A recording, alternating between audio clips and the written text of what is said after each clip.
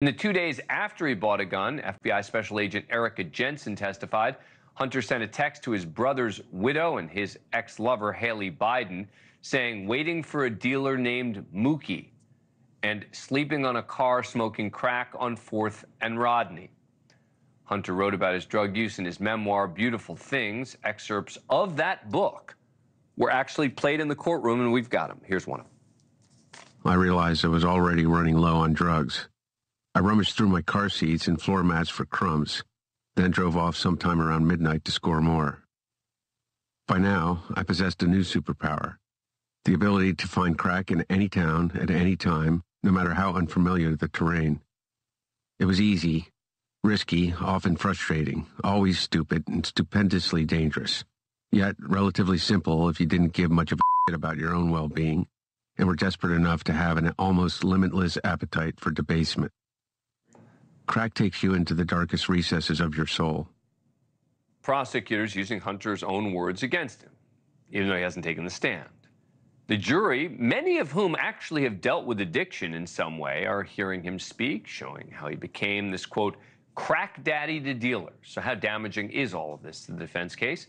Joining me now is prominent criminal defense attorney Mark Eiglarsh, an old friend. Mark, good to see you. Uh, how do you think the uh, the defense is doing so far? How damaging is this testimony? They're doing the best they can at the level of awareness that they're at with the situation that they're in. That's a nice thing I can say. Dan, the first question is why is this case going to trial? That really is the start.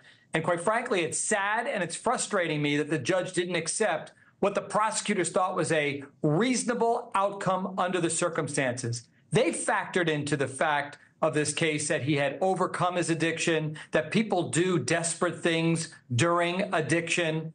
Let it go. But the judge wouldn't do it.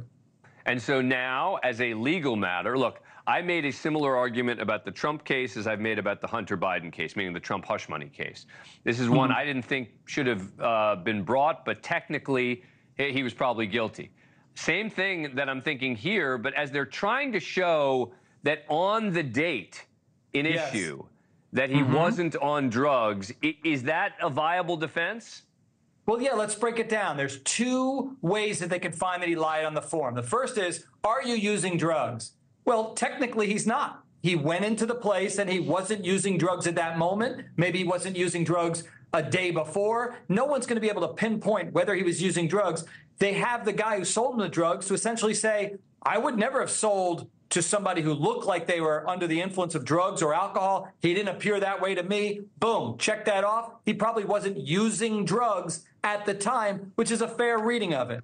What's more complicated, as you know, and I'm getting to, is are you addicted? Are you an addict? Right. Well, that is complicated, right? It depends upon your definition of being an addict. Some people who are in recovery reject the notion of being called an addict. They don't like that label. Some people who are in early recovery also reject that notion.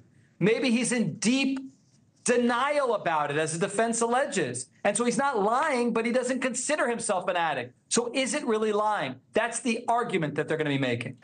Some of the partisans who, you know, just want to see Hunter Biden guilty because he's Hunter Biden have been focusing on the jurors and pointing out that a lot of these jurors um, have experienced directly or indirectly some form of addiction, and I say indirectly meaning friends, family, etc.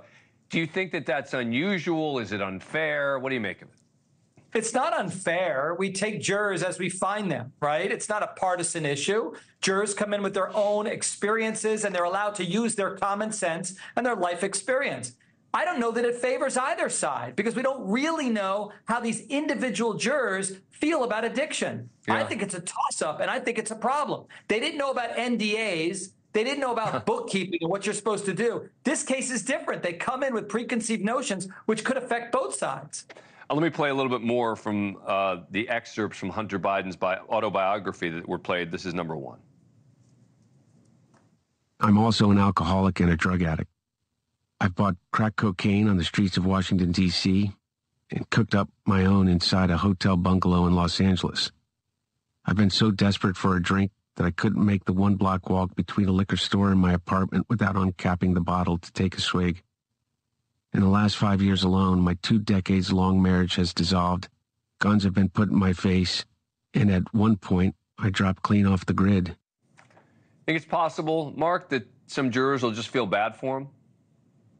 Absolutely. And let me tell you something. I don't think I'm alone here when I say, in a case like this, that evidence sucks for the defense. It does. However, that's him looking back and realizing, yeah, I'm an addict. That's someone who's gone through treatment, who recognizes what an addict is. When he goes in to buy a gun, and if he's actively using at least some time around the time he's buying the gun, maybe he doesn't consider himself an addict at that point. So maybe he's not lying. Thank you for watching.